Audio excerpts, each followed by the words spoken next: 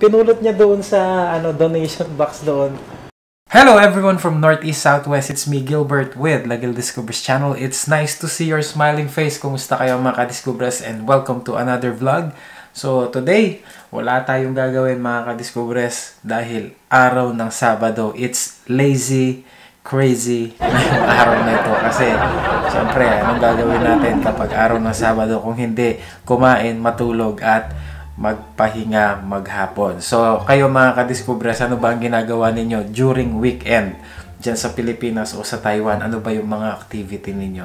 Anyway, ngayong araw, uh, samahan nyo lang ako dito kung ano yung uh, regular na buhay namin dito sa Canada, dito sa apartment, kapag uh, araw ng day off. Ayan, makita ninyo mga ka-discovers, welcome sa aking magulong kwarto. Ayan.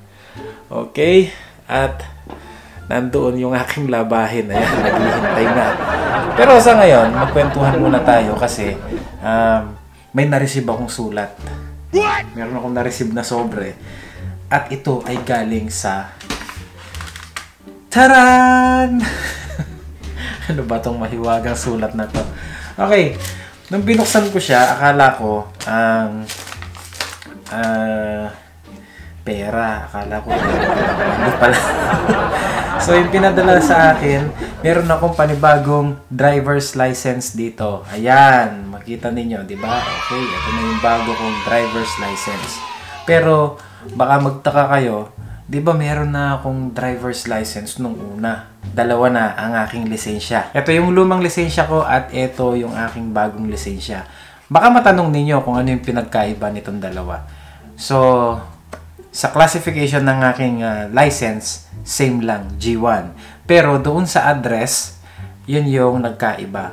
So before, ang naka-address dito is yung nasa Toronto pa ako. Ito yung address doon sa dati kong tinirahang bahay or nakitira. At ngayon naman, uh, ang address dito sa panibagong uh, license na ito, driver's license, dito na yan sa parte ng Muskoka, dito sa apartment unit na ito. So, kapag meron ng darating ng mga mail or something like, meron akong in-order sa Amazon, meron akong in-order sa Avon, gano'n, Avon pa talaga. so, dito babagsak yan, no? Dito babagsak yan sa bahay na ito or doon sa aming uh, mailbox, doon sa labas. Napag-alaman ko lang, dito pala sa Canada, every time na mag-move ka ng place, kailangan mo rin palang magpalit ng address doon sa lisensya mo. So, ang ginawa lang namin nung time na yon, pumunta kami doon sa Service Canada or Service Ontario. Dala namin yung mga ibang documents namin together with the passport at saka yung, syempre, itong um, license namin. So, sinabi namin na magpapalit kami ng address, change address. So, sabi nga nila, uh, it took one week or two weeks. So, nung nag-check kami doon sa aming uh, mailbox, meron kaming ganito. Pinadala na yung bagong license namin with the new address. Ganun po pala dito sa Canada. 'Di ba sa atin manumano yung pagsisensus natin, 'di ba? May mga kumakatok sa bahay, census po, ilan po kayo dito sa bahay, ilang ilang ano kayo sa pamilya ninyo, ganyan, ilang member kayo. Ganun 'di ba? Pero dito, this is the uh, parang unique way nila na para masystematize nila yung ano, yung uh, census nila rito.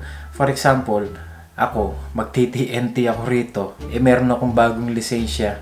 So matitrace nila kung saan ako nakatira, 'di ba? So there's no chance kung saan ka magtago. Uh, depende na lang kung yung lisensya mo hindi mo babaguhin ng address at 'yon, uh, dito pa rin yung uh, old address mo. So dito ka hahanapin. Merong isang insidente na ano, na experience namin dito yung kasamahan namin na nag-resign na rito sa company na ito at dito siya naka-address. So yung katrabaho namin yon nasa New Brunswick na. Nagtatrabaho siya sa ano sa tawag dito sa Lobster. Ang dami niya mga bills na pumapasok dito, yung kanyang car insurance bill, tapos yung mga uh, mga notice pa. So ang dami niyang uh, sulat na dumarating dito. And then sabi nga namin, tinawagan namin yung katrabaho namin na magpalit na siya ng address. Kasi nga, yung mga lahat ng mga mail doon sa mailbox namin napupunta lahat yon kaya nasabi ko na meron silang unique way kung paano nila ma anong tawag dito? Matrace yung mga tao o yung sa census nila ganon di ba? Ganon din sa pag the drive. Iba-iba rin pala ang patakaran ng traffic rule dito sa Canada. For example dito pwede kang ah, lumiko pa kanan or lumiko pa kaliwa basta nasa right of way ka. Kahit naka-stop yung ano mo naka-stop sign ka pwede kang lumiko. Ganon. And then sa ibang lugar naman sa mga ibang province iba-iba yung patakaran nila sa mga traffic rules kaya sabi nung amo ko ah, kailangan mong mag-retake ng ah, driving test ulit kung hindi ka pa masyadong maalam sa mga traffic regulation nila sa mga ibang provinces dito, 'di ba? Napaka-unique kasi sa atin sa Pilipinas, sabi ko nga doon sa amo ko, kapag kumuha na tayo ng lisensya, basta marunong kang magmaneho, any vehicle pwede mo nang i-drive, 'di ba? So dito sa Canada, iba-iba. Merong kapag motorcycle, sabi nga ng amo ko, meron siyang kailangang kunin na lisensya. So, dalawa rin yung lisensya niya. Meron siyang isang lisensya na full G or yung ano na siya, professional driver's license at meron pa siyang isang lisensya para sa motorcycle. So, ganun po dito sa Canada. Tayo sa Pilipinas, napakaswerte natin dahil isang lisensya lang, pwede ka nang magmaneho ng motor, pwede ka nang magmaneho ng jeep, pwede ka nang magmaneho ng um, kahit ano, 'di ba? And pero pera lang sa mga heavy equipment or tawag dito, yung mga truck kailangan mataas yung restriction natin. So nagkakatalo lang 'yun sa restriction, 'di ba?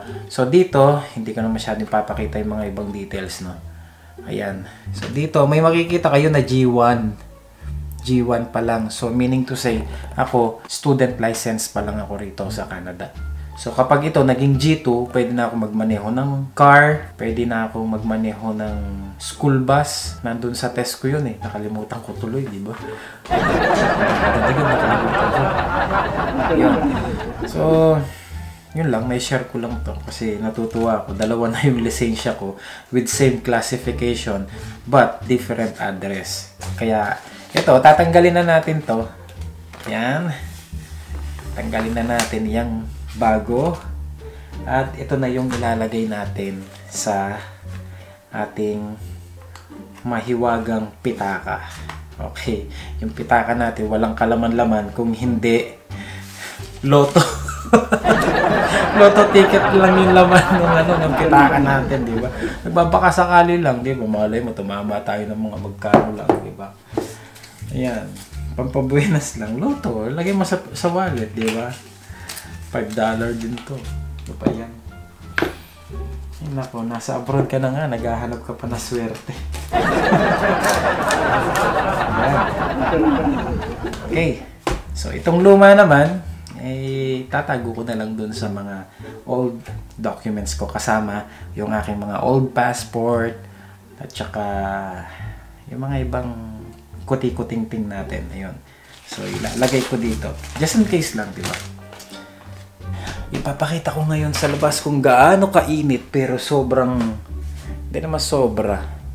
Mga ilang degree ba yung lamig ngayon? Parang 10 degree. Malamig na eh. Kahit maaraw ngayon, no? Nakapokus pa yung ano.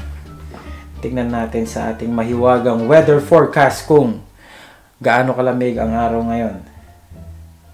Ayan. okay. Ewan ko ba kung nakikita nyo. Ayan, nakikita nyo ba mga ka-discovers? 7 degree ang lamig ngayon. So kahit maaraw sa labas, yung hangin, sobrang lamig. So every morning, kapag pupunta ka sa dito sa may tapat ng bahay, meron ka nang makikitang mga frost. O yung uh, tawag doon sa frost. Yung parang nagyayelo na yung mga damuhan. Okay, dito tayo. Papakita ko lang sa inyo. Yun. malamig nga, naka-short pa ako. Tingnan niya. so makikita ninyo mga ka-discoverers, di ba? Ano na, makulimlim yung panahon. Pero kanina, maaraw eh. At kung mapapansin nyo yung halaman na yan, ayan, yan, yan. Di ba? Nakikita nyo to? Yun. Yan o, tignan nyo yung halaman. Nagbabago na yung kulay niya kasi ah, epekto yan ng ano nga, pag malamig sa umaga, for example, nung nakarang araw, 0 degree, tapos mataas yung sikat ng araw, yun yung magiging effect. Nagpapalit na ng dahon yung mga halaman dito. Kaya nga sabi nung kaibigan namin, si Noel, may part-time daw dito, pintor. Magpipintura ng mga dahon ng mga halaman dito. Lalabit na ako 7 degree. Ayan. Pati yung tent ni Lino rito, hindi pa natatanggal. Ayan, no? Ayan. Grabe, lamig. Okay, balik na tayo sa loob. Kasi, ano na eh, malamig na. Tara, punta tayo sa ibaba. At maglalaban na tayo. Yun. Ayan na, ang basement namin. Tara, pababa tayo. Napapansin nyo ba yung mga bahay dito mga ka-discoverers? Parang ang liit lang tingnan, pero pagdating sa loob, ah, maaliwalas siyang tingnan kasi merong mga basement na ganito. Ang tawag nung amo ko sa basement is cold room. May kalamigan nga ito kasi yung heater kasi rito, iilan lang yung mga exhaust. At ito yung heater nga namin, di ba? Yun. Last time kung natatandaan ninyo mga ka-discoverers, 'di ba, nakapulot ako ng pantalon. 'Di ba? Kung maalala nyo lang. At pumunta na naman ako nung nakarang araw. So may napulot na naman ako na isang jacket. Ayan. So ang jacket na ito hindi ko binili. Kinuha ko lang dun sa donation box doon na itinatapon na lang ng mga local Canadian kasi hindi na nila ginagamit. So ito oh, wala pang ka-damage damage at pang construction talaga siya. XL nga lang. Ayan ang tatak niya, workload. Ayan. So napaka-useful nito every time na pupunta kami sa mga island job. So tries ko nang ginamit ito. At yan, lalabhan ko na. And then, kasama nga namin si Limuel, nung time na yon naglalakad kami, nakwento namin na, oh, diyan kami kumukuha ng mga ibang gamit kapag may magtatapon ng mga ah, gamit-gamit dito sa donation. And then, kinagabihan, umalis si Limuel dito sa bahay. Alam nyo ba kung ano yung napulot niya? Tingnan nyo mga ka-discoverers, oh. Di ba?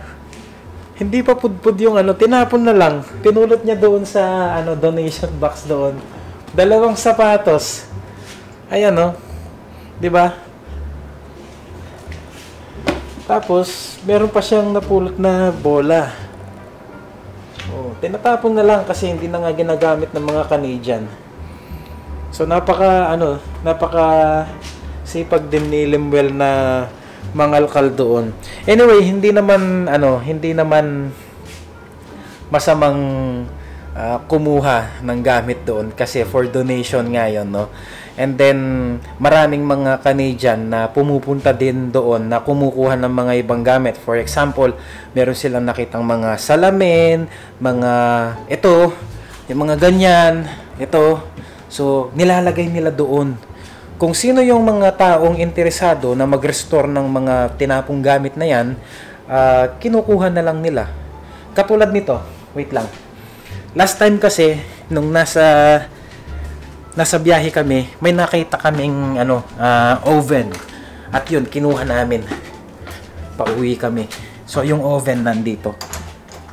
Heto yung oven toaster. Yan. Pinulot namin yan. Kaya dito sa Canada, hindi ka lang maselan or practical ka lang sa mga gamit na yan, yung mga tinatapon nila sa mga bahay-bahay, ganun. Practical ka lang kahit hindi ka na bumili ng mga mamahaling gamit. For example, yung mga appliances, yung mga sapatos na ganyan. Siyempre, kailangan mo rin bumili ng pansarili sa'yo. Pero, what I mean is, kung praktikalan lang ba, di ba?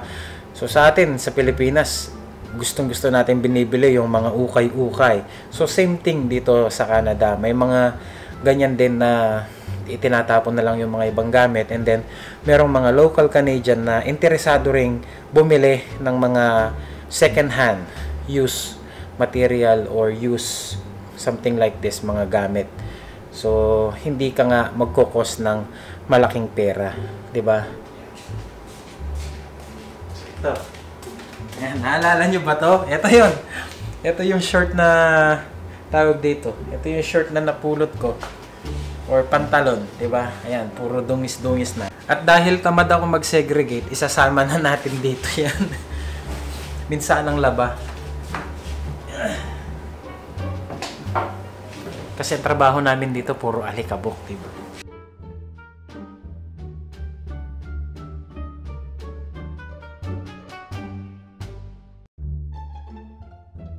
Okay. Yan. Pinaikot ko na. So, isang oras at ano to? 1 hour and 30 minutes. Hihintayin natin yan. So, magpapahinga muna tayo sa taas. Matutulog muna tayo. Ayun pa mga Discoverers at maraming salamat sa inyong pagtutok. Okay, at dito ko na muna tatapusin ang video vlog na ito. Isinyar ko lang kung ano yung buhay namin dito ngayong day off. At nakita nyo na kung paano yung daily routine namin dito. Kain, tulog, maglalaba. At kung meron mang mga konting activity like bibili sa grocery store, I think uh, bukas. Yan, mamimili kami ng mga konting pagkain, prutas na babaunin sa ah, susunod na araw pag magtatrabaho. Kung bago lang kayo dito sa akin channel mga kadiscobres, make sure to subscribe, like, and share sa mga social media account ninyo. Sana may matutunan kayo kung ano yung mga nararanasan kong experience dito sa Canada. Till next time from Northeast Southwest, my name is Gilbert with Legal Discoveries Channel. Maraming salamat po sa inyong panonood at kung isa kang OFW na katulad ko, mabuhay ka at mabuhay tayong mga OFW sa buong mundo. Stay safe at sana po kayo dyan sa Pilipinas, mag-ingat po kayo palagi dahil yung ah, pandemic na nararanasan natin ngayon. Okay, see you on my next vlog and bye-bye!